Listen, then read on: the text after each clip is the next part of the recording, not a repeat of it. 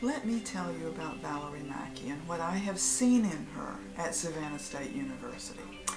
She's a young woman who's had some trouble finding herself, some trouble finding her focus. My experience with Valerie Mackey is that she's been looking for her source. She is focused on making fabulous videos. I think she's evolved to the point where this college experience is what it ought to be. That is, a process of discovery, not necessarily just getting all the answers. I think that in the future, once she graduates, we're going to be really proud to say that she came from Savannah State University.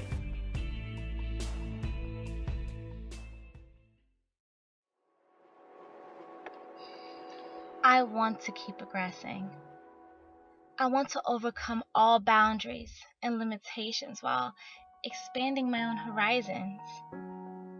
I want to exude the essence of creativity while capturing your heart by not even offering a single word. I will fight against the current and I will go against the grain. And if I plant a seed of a merited faith, it will bring success. There will be no excuses for failure because I will exceed all expectations, plunging myself into the unknown and then rising up like a phoenix from my own ashes. But I need your help to fuel one more semester towards my passion. By clicking the GoFundMe link and contributing to my college fund, I will reach my goal of $5,000. I am Valerie Mackey, and I love videography.